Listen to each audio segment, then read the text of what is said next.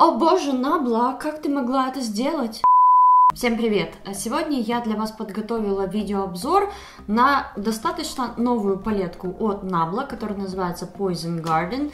И вы знаете, эта палетка вызвала у меня столько чувств одновременно, что этот обзор вряд ли получится таким, что «Ой, это такие классные тени, вот сто процентов покупайте», или другая сторона медали в стиле «О боже, Набла, как ты могла это сделать?» Вот реально, с такой палеткой очень важно понимать, какова была ее задумка и каково ее именно создали, для того, чтобы понять для себя, нравится вам это, привлекает ли вас это, или же наоборот нет. Помимо моей болтовни, конечно же, я подготовила еще несколько вариантов макияжа в макросъемке с этой палеткой, то есть а, все, о чем я буду говорить, очень хорошо будет подкрепляться как раз таким макияжем, и вы посмотрите, как эти тени ведут себя в действии. Ну и давайте, наверное, сразу приступать. Сейчас еще слегка потяну резину, давайте давайте начнем просто с фактов.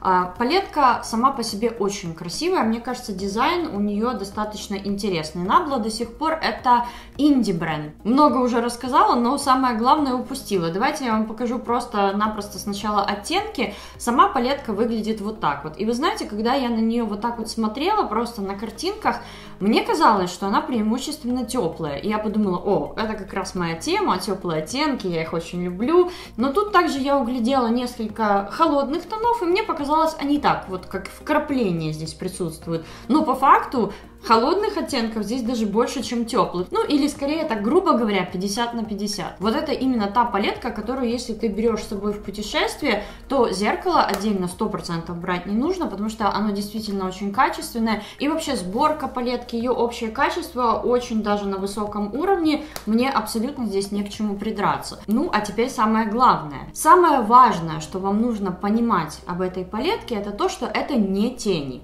То есть это не палетка теней. И вы нигде, ни на этой палетке, ни у них на сайте не найдете именно такой формулировки, как Nabla Poison Garden палетка теней. Потому что по факту и с юридической точки зрения они также должны это указывать, это палетка прессованных пигментов. Чем отличаются прессованные пигменты и тени? Прессованные пигменты, и очень часто это, кстати, касается вот как раз-таки вот cruelty-free и веганских формул, а, Давайте, наверное, начну с конца, потому что иначе я не смогу это объяснить. Вообще, в принципе, когда создается формула теней, очень часто в этой формуле присутствуют ингредиенты, и чаще всего это как раз такие пигменты животного происхождения. А, самый наиболее распространенный это кармин. Он используется как и в косметике, так и в художественной краске, так и в каких-то других красителях. В общем-то, это очень часто распространенный пигмент.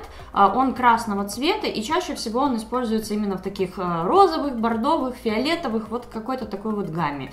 Если бренд хочет создать именно cruelty-free и веганскую формулу, они не имеют права использовать, естественно, ничего животного происхождения. Поэтому поэтому им нужно вот эти вот красители или пигменты заменять а, какой-то синтетикой. В данном случае так и произошло, то есть во всех оттенках они использовали синтетические пигменты. Больше всего это затрагивает как раз таки формулу матовых теней, потому что у них становится очень особая такая консистенция, которая одновременно имеет и плюсы, и минусы, но в зависимости от того, что у вас перевесит чашу весов, тому вы, собственно, и отдадите предпочтение в плане того, хотите ли вы просто обычные тени или же вот прессованные пигменты. Опять-таки, с юридической стороны, эти пигменты запрещены для использования на глазах, то есть на веках. Если посмотреть палетку, тут мелким шрифтом написано, что такие-то, такие-то, такие-то оттенки нельзя использовать на зоне вокруг глаз. Почему они запрещены FDA? А, в первую очередь потому, что они могут въедаться в кожу и оставлять э, пятна, скажем так. То есть даже если вы смываете макияж, у вас все равно могут остаться там какие-то следы, будь то какой-то красный цвет или синий цвет или неважно. И когда какой-то какой-то пигмент окрашивает кожу, с точки зрения FDA это большое нет, это табу запрет, то есть они не разрешают это. Но тем не менее, все, кто не знают, все этим пользуются и как бы воспринимают это просто как данность. Если у кого-то там что-то где-то въелось, ну как бы въелось и въелось. Единственная потенциальная опасность, которая может вас ожидать, это чувствительность глаз, то есть может появиться аллергия, и у некоторых людей э, действительно она проявляется, появляется сыпь, красная такая неприятная, которую нужно лечить именно как аллергию. Это случается крайне редко, опять-таки это просто индивидуальная непереносимость, и она может случиться абсолютно на все, как на эти пигменты, так и на любую другую формулу. Рисованный пигмент и его достоинства. В первую очередь, так как это пигмент, естественно, с пигментацией у вас проблем не будет абсолютно. Это максимально насыщенные тени, насыщенные оттенки, которые очень плотно ложатся. Еще один плюс пигментов заключается в том, что по сути они работают как художественные краски. Вот конкретно на этой палетке я могу привести замечательный пример. Если вы смешаете вместе вот этот вот красный и голубой, у вас получится фиолетовый оттенок. Если мы кладем тени один на другой, то они просто могут в лучшем случае растушеваться. И для того, чтобы создать красивый градиент, мы используем в одной и той же температуре несколько оттенков, которые вот создают этот, собственно, градиент. Например, от светло-коричневого до среднего, до более темного и там уже самого темного коричневого. И создаем градиент. Здесь же у нас есть возможность прям вообще закреативить. В теории, если бы здесь прям весь цветовой круг был, то вариантов было бы бесконечное множество, что можно соединять и какие оттенки создавать создавать. Это главные преимущества этой формулы. Теперь, что касается недостатков этой формулы, они намного более меловые. Представьте себе консистенцию муки или вот крахмала, чего-то такого, что когда вы начинаете это трогать между пальцами, начинает оно как будто даже слегка крошиться. Вот что-то подобное можно ждать от вот этой консистенции. И что касается растушевки, здесь вот как раз-таки главный подвох. Я бы эту палетку однозначно не советовала новичкам, потому что новичку с ней справиться будет достаточно сложно, потому что весь принцип построения макияжа вот такой вот формулы заключается в том, что вы наслаиваете оттенки, то есть вы больше похлопываете кистью, нежели вы вот так вот машете ей и растушевываете, потому что когда вы набираете на кисть и начинаете вот так вот растушевывать, пигмент очень бледно ложится, то есть его нужно очень-очень сильно наслаивать. Но в то же время, если вы кладете этот оттенок похлопывающими движениями, он дает максимальное затемнение, максимальную свою пигментацию он проявляет. Но в то же время растушевать его в идеальный градиент достаточно сложно. То есть нужно опять-таки не просто вот так положил, а потом растушевал. Так вы создадите, скорее всего, пятна а положил и вот так вот такими же похлопывающими движениями и растянул. И тогда получаются наиболее красивые переходы вот конкретно с вот этой вот формулой прессованных пигментов. Что касается остальных оттенков, то тут достаточно много просто, ну вот как бы, я бы их, наверное, назвала обычными металликами. Вот мы к ним уже привыкли, мы знаем, как они себя ведут, и, в принципе, вот от них никаких сюрпризов мы не ждем. Также в этой палетке есть два топера. Это оттенок Adoration и оттенок Subliminal. Эти оттенки, по сути, не имеют какой-то цветной базы. А, первый оттенок Adoration, он ложится просто как мокрым эффектом или скорее эффектом таким как дуохромным что ли, и он переливает таким лиловым, фиолетовым, и он как трансформер, то есть он задает какой-то совсем другой тон макияжу. То же самое и с оттенком Subliminal, этот, в принципе, немножко более наслаиваемый. То есть сейчас вот он у меня на веке, и он такой очень ярко, медно медовый, наверное, как-то так бы я его назвала. Э, и его возможно вот так вот наслоить, наслоить, наслоить и получить что-то, что напоминает э, классические металлические тени. Что касается моего личного отношения к этой палетке, вы знаете, я здесь боюсь какие-то даже выводы делать, потому что э, я, когда рассказывала об этой палетке, к примеру, Оле, и рассказывала о всех этих нюансах с формулой теней, она мне сказала, ну, а вот ты действительно считаешь, что вот это вот нужно вот так вот ее оправдывать, потому что она стоит достаточно дорого. И я поняла, что, возможно, мои слова и могут восприниматься так, как будто я оправдываю. Вот я пытаюсь вам ее продать, вот, пожалуйста, ее купите. Она на самом деле хорошая, просто с ней надо танцы с бубнами потанцевать. Нет, на самом деле вам нужно воспринимать то, что я говорю, совершенно по-другому. Вы должны понять, что это за продукт. Он неплохой, не хороший, он именно так задумывался. И если это то, что вам нравится, то, что вас впечатляет, то, что вы хотите, и то, что вы знаете, что вы будете использовать, тогда это 100% ваш продукт.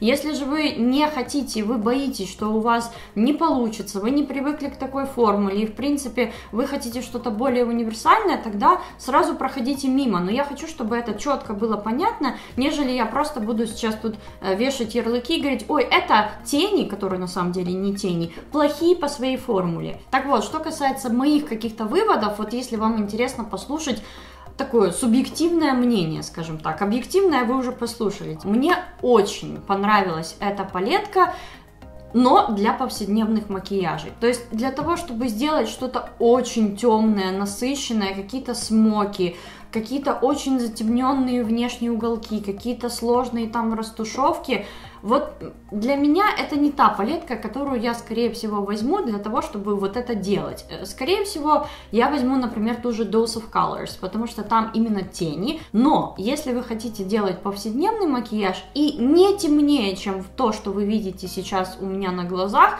то это просто вот такая вот палетка, и вам она 100% понравится. Потому что вот такое вот затемнение, э, скажем так, средней, наверное, насыщенности, она создает очень легко, абсолютно беспроблемно, и здесь есть настолько выразительные оттенки, что действительно они этим выигрывают по сравнению с какими-то другими, которые я вот так вот аналогично бы использовала для повседневного макияжа. Что касается средних тонов, а это вот эти вот четыре оттенка, скажем так, они тоже потрясающие, с ними очень легко работать, но вот эти три оттенка, они все-таки самые сложные, и это как раз-таки единственные оттенки, que которые мы и будем брать, если мы хотим именно сильно затемнить макияж. Что мне еще очень понравилось в этой палетке, так это то, что в ней есть полноценная растяжка как матовых, так и других текстур, а, в разной температуре, то есть как холодные, так и теплые. И прям вот достаточно оттенков для полноценного макияжа как в холодной гамме, так и в теплой. Ну что ж, я очень надеюсь, что у меня получилось объяснить, что из себя представляет эта палетка. И сейчас я вам хочу показать несколько макияжей, чтобы вы на практике посмотрели, как она работает. Сейчас я хочу сделать такой дневной смоки, поэтому я начну с оттенка Narrative. И вообще, в принципе, это тот оттенок, с которого будут начинаться практически все макияжи с этой палеткой. Следом пойдет оттенок Honey. Это, наверное, самый теплый оттенок коричневого в палетке. И этот оттенок действительно добавляет очень теплый подтон макияжу, он становится прям таким оранжево-солнечным. И чтобы слегка затемнить внешний уголок, я буду использовать оттенок Adagio. Этот оттенок просто невероятно пигментированный, поэтому будьте с ним очень осторожны, потому что если вот наляпать сразу пятно, то потом очень трудно будет растушевать. Видите, насколько с маленькой зоны я начала а потом только постепенно, постепенно начинаю растушевывать его выше. Растушевывается он неплохо, если вот именно вот так вот с ним и работать постепенно. Но пятна лучше с ним, конечно, не ставить. Теперь на все подвижное веко я буду наносить оттенок Fabric. Этот оттенок я сейчас наношу влажным способом, но его также можно наносить и обычной сухой кистью, и это, наверное, один из моих любимых оттенков в палетке. Это не просто банальный оттенок шампанского, который уже надоел во всех палетках. Он очень интересный. В нем как и розовое золото есть, и какой-то тауповый подтон есть. И вот что-то вот такое намиксовано все вместе. Мне не очень нравится, что у меня вот здесь в переходе пропал мой теплый оттенок honey, который мы использовали ранее, поэтому я его сейчас восстановлю здесь при переходе. И также слегка снова затемню внешний уголок. На нижнем веке я сейчас повторю оттенки Narrative и Honey, и может быть еще совсем слегка затемню внешний уголок оттенком Adagio.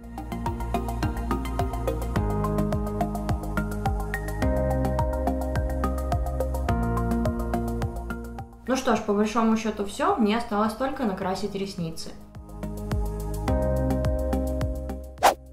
Макияж, на самом деле, я уже буду записывать во второй раз. Для начала я возьму оттенок Zen, и этот оттенок я буду наносить во внешний уголок глаза, а потом также добавлю его и во внутренний уголок, потому что я сегодня хочу сделать Halo Eye, и вот с помощью вот этого синего матового оттенка мне очень нравится, как он выглядит в Halo. Теперь я возьму оттенок Berry Bite. И вот так вот очень тоненько, то есть вот посмотрите, на кисть я взяла совсем-совсем немного, и насколько я уже сейчас этот оттенок растянула. Теперь настало время оттенка опера. К этому оттенку у меня прям глобальных каких-то претензий нет, он плоской кистью наносится очень хорошо и достаточно плотно, и он не настолько легко смахивается при растушевке. Мне нравится эффект, который он создает, и я вполне могу с ним работать. Естественно, он тоже немножко более сложный, чем простые матовые тени, то есть все равно это пигмент прессованный матовый. Но учитывая, как я в принципе не люблю розовую такую и бордовую гамму, меня этот оттенок удивил даже, я могу сказать, в лучшую сторону. То есть он наносится и растушевывается гораздо лучше, чем я предполагала, что он будет это делать. И теперь настало время одного из самых красивых, но одновременно и самых сложных оттенков палетки, а именно оттенка Мажорель. Этот оттенок я буду наносить на центр века, и в прошлый раз я сделала очень фатальную ошибку, я нанесла его на базу к базе он очень сильно приклеивается, и потом эти границы просто вообще невозможно просто растушевать. То есть настолько какие-то пятна получаются, что ну, это абсолютно отвратительно выглядит. В этот раз я решила абсолютно без каких-либо баз его использовать, просто вот так вот плоской кистью его наслаивать. И обратите внимание, сейчас я наслоила синий и бордовый оттенок, и у меня посерединке получился фиолетовый. Как видите, этот оттенок наносится немного плешиво. И самая большая проблема наступает тогда, когда вы хотите растушевать границы, потому что как только вы касаетесь кистью к этому оттенку, он начинает осыпаться, пылить, и в нем начинают появляться проплешины. Поэтому я сейчас попытаюсь максимальные усилия приложить для того, чтобы сохранить этот эффект, но все-таки убрать вот эти жесткие переходы.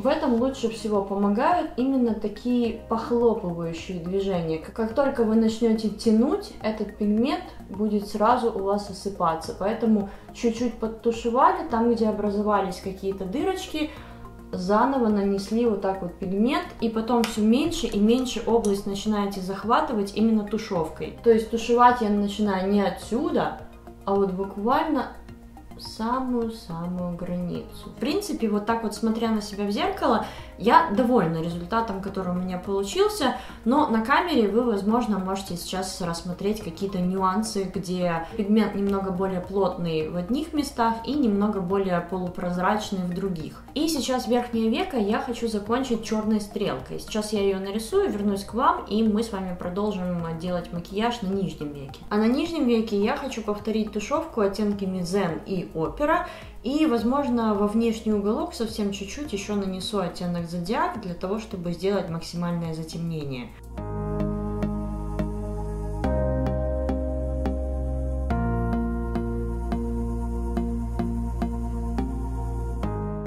Будьте готовы к тому, что все оттенки, которые я использовала в этом макияже, это все наиболее сложные оттенки в этой палетке в принципе. И вот помните, я говорила, что просто в зеркале я не вижу вот эти вот все проплешины, и сейчас я слегка приглушила освещение, и вот мне кажется, что это наиболее правдоподобно передает то, как я это вижу в зеркале. Нет нигде вот этой плешивости, и в целом в реальной жизни все это смотрится достаточно красиво. Но как только мы сюда подключаем профессиональное освещение, мы сразу видим какие-то проплешины, из-за чего я, собственно, и сказала, что для фото и видеосъемки Возможно, использование пигментов в принципе это не самая лучшая идея. А еще сейчас я хочу вам показать макияж, который я, к сожалению, в подробностях не снимала, но в нем те оттенки, которые я еще не использовала в этой палетке. Я хочу просто, чтобы вы посмотрели, как они смотрятся. Тушевку в основном я сделала оттенками Narrative и Zen.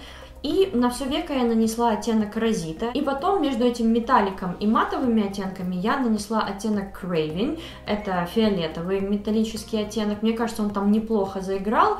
И потом во внутренний уголок я захотела нанести оттенок Adoration. И мне кажется, что как раз вот эти два последних оттенка очень собрали этот макияж и сделали его более интересным, чем каким-то банальным повседневным. А на этом у меня все. Я очень надеюсь, что это видео вам понравилось. Если так и было, обязательно поставьте мне палец вверх. Подписывайтесь на мой канал, если вы до сих пор еще не подписаны. Это можно сделать, нажав вот сюда вот. И также YouTube сейчас вам предлагает другие мои видео. Я, кстати, делала относительно недавно обзор на другую косметику Nabla. Если вам интересно, можете его посмотреть. А если вы их уже смотрели, то мы с вами увидимся в моем новом выпуске через несколько дней.